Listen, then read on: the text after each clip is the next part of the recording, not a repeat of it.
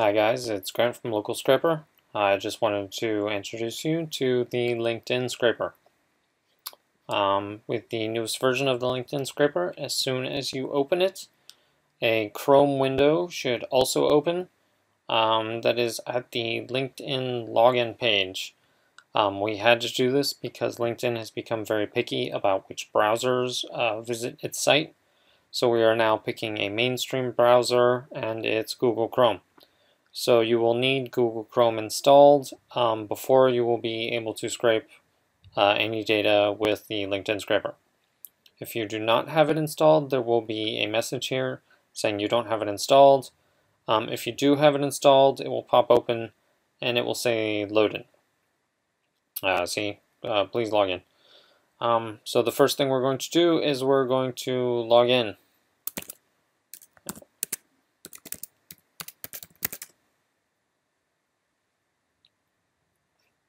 Okay, now that we're logged into LinkedIn, um, I will go over the scrape types. Um, let's do a quick thing so you can see, let's see, sure sales. So you can see what I am talking about. Okay, so the scraper only works on a search results page that looks like this, that is targeted towards people only, um, that does not scrape jobs or posts or companies or um, other stuff. If the schools and groups look exactly like this, um, it might work. I have not tested that. Um, nobody's ever really requested it. So we're on a search results page and it looks something like this. Now the full scrape will gather each one of the 10 people on here. It will gather the URL to their LinkedIn profile page as the first stage of the program. Um, the second stage of the program is that it will individually visit each one of these profile pages one at a time. Um, so if we go to a profile page, the LinkedIn full scraper will get the name, the current uh, title, the company here, their their education, their full location, their number of contacts, and in this small section where you can write a um, description of yourself kind of thing. If an email has been added to this section, the full scraper will find it. Um, it is very rare for people to put emails in there because of LinkedIn's in-message. Um, why do you need to have an email there if you're perfectly okay with them just messaging you through LinkedIn? So it is very hard to now find emails on LinkedIn, but if somebody does have one in this profile section, uh, the full scrape will find it. Now if we go back to the search results page, if we were to instead do a quick scrape, it would scrape the details that you can see on this page, which is the name, uh, the profile image, the link to their profile page, uh, their current title, position, um, the location, and this current. Um, and it will do that for all these people, and it will do them all 10 at a time. So the quick scraper will scrape all 10 of these people and whatever details uh, we see, and then it will go to the next page and scrape all 10 people, and the next page, and the next page, and so on. With the full scraper, um, actually, quick, um, with the quick scraper, that means for each page you load, you're getting 10 results. So by page 2, you have 20 people scraped, but you've only visited two pages of LinkedIn. Okay. Now with the full scrape, um, as you saw, it would go to the page and scrape the details that we showed uh, just a minute ago. So what it'll do is it'll visit this, this search page, it'll grab all 10 people, um, it'll continue to grab people until it hits the end of the people or until it hits your max listings, which we'll go over in a sec. Um, so for every 10, for every URL it grabs, it will also visit that person's URL. So instead of the, unlike the quick scraper, by the end of page two, the scraper would have visited uh, 20 pages of people. So if you don't need the possible email and you don't need the full uh, details, I accidentally clicked on that, the full details of the, um, the user, like their full location, then the quick might be better for you because it is less page views and less times, uh, less pages the scraper has to open. Okay, um, you have three methods of going through uh, listings. Uh, the one I recommend most people use is the manual mode. You just check this little box and then you run the scraper. Um, manual mode means that it starts at whatever the browser is currently at. See, we're on our search for um, salespeople up here. Uh, we're on people, and if say we were on page, I don't know, 6, and we have manual mode selected, it will now start from here and start scraping. It will not go backwards to page 1 through 5 and all that. We'll just start on whatever page you're on. So if you can get to some sort of page of search results of people that looks like this. Um, you can break it down by sales and location and salespeople in Miami, Florida, or whatever you want to search. As long as you have a page of people like this, um, you can check the manual mode and then start the scraper and it will run. Um, the custom URL is if you have a URL like up here in the top. Um, so far, all we have is keywords, uh, sales, so it's pretty straightforward. But if you were to do your searches in another browser, um, on another computer, I don't know, something, um, you can take the URL from up here, you can copy and you can paste it into the program, and the program will now start at um, whatever custom URL you put in. So when you first open the program, the window's over there, you log into LinkedIn, you select one of these, full or quick, you put in the custom URL and you hit run, and it will visit this URL, which happens to be this one, which at the end of it you can see also says page 6.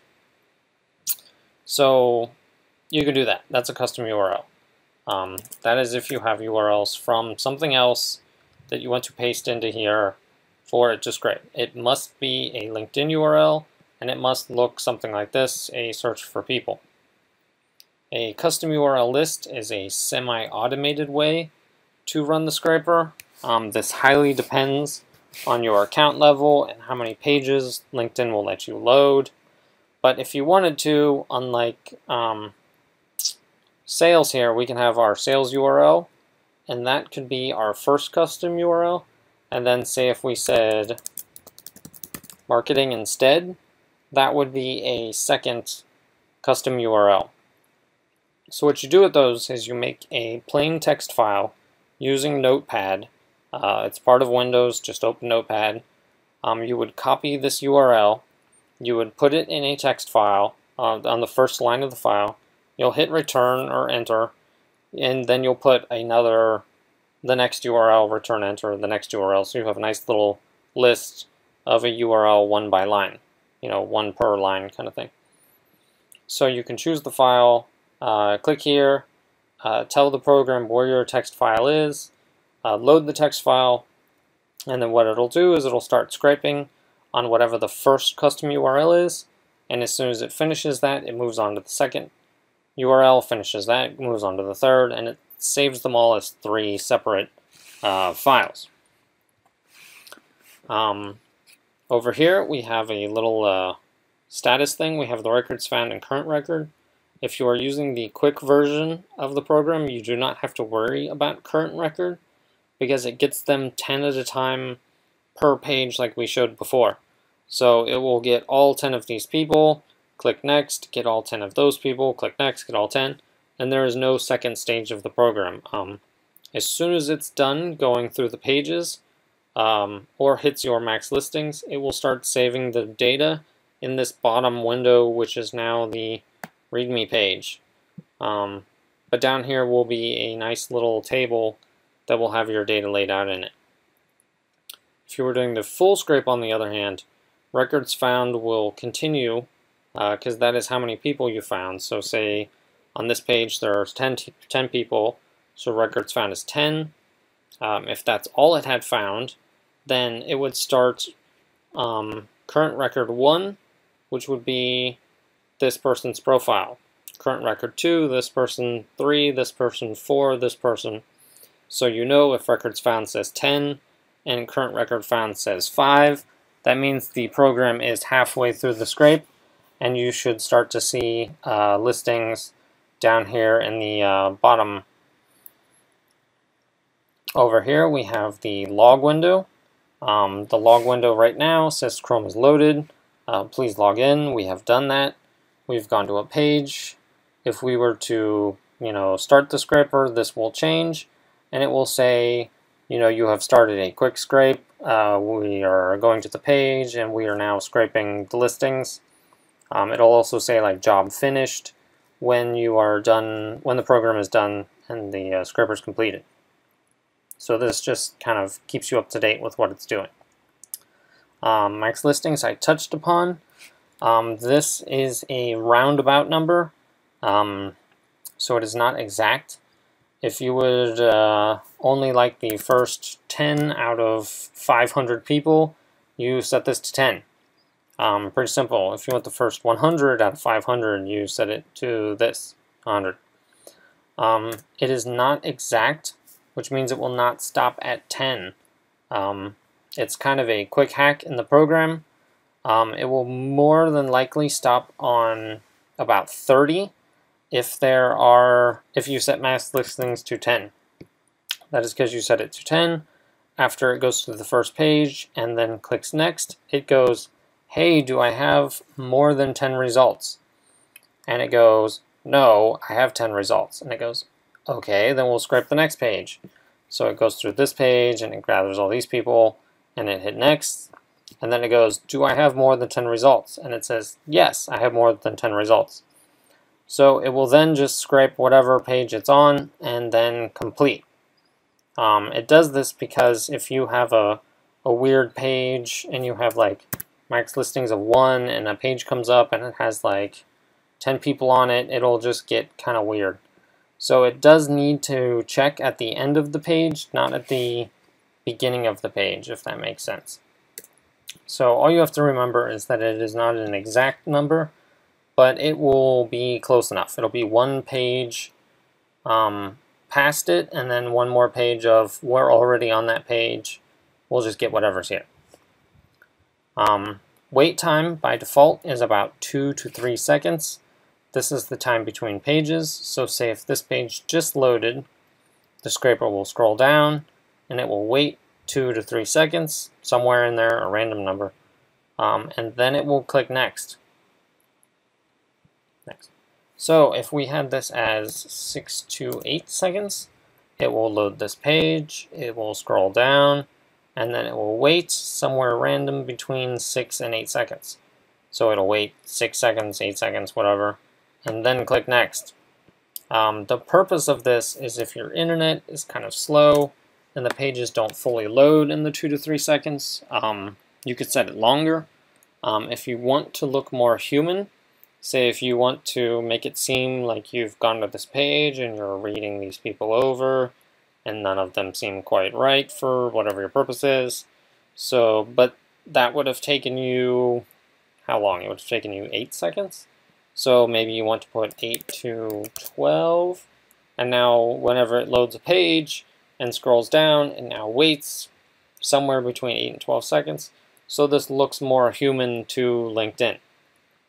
Um, I'm not sure if LinkedIn really cares, but um, if you do, or if a problem comes up, then you can set the uh, timing here. Uh, some sites have a thing where it says, hey, you're scripting too fast. Um, this would be a way to slow that down. Okay, um, I believe that is it. Um, if you have any questions, make sure to check the README page. It goes over the custom URLs a bit um, and other sections. Okay,